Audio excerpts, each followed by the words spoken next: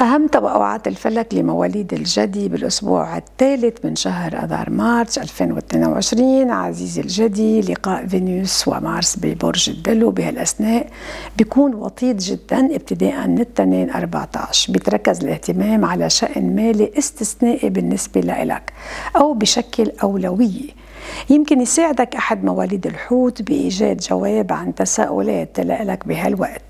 ويمكن تتصدى لأحد مواليد الأسد بين التنين والأربعة. بيحاول يوضع العصي بالدواليب بالدواليب أو بالعكس بينصحك بما هو أفضل لك بس بتكون آه، ردة فعلك سلبية. مواليد الأسد بيأدوا دور حاسم بحياتك بهالوقت. حاول أنك تخوض المفاوضات بين الخميس والجمعة الخميس 17 والجمعة 18 لأنه القمر المكتمل ببرج العذراء بهالوقت مناسب جدا لإلك وبشكل مفترق طريق إيجابي لكتار من مواليد الجدي. افتح عينيك وأذنيك جيدا من أجل مساهمة لإلك ببعض الشؤون المهمة وحاول أنك تشتغل من ضمن فريق.